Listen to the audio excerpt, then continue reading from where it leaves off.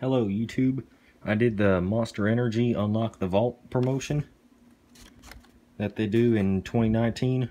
Basically the summer months. This says what I got. This is what it came in. And three pounds. I will open it up and show you all what so, I got. When you open the box, the first thing you see is shipping paper. Take that out. I got a Monster Energy beanie that I've been wanting for a long time.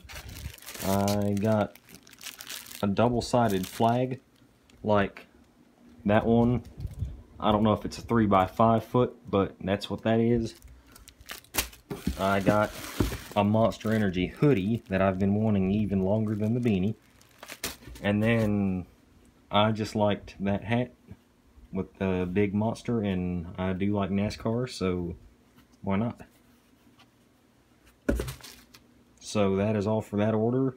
I have another on the way, and if I can get enough tabs sent in by the time limit, I hope to have yet another order coming.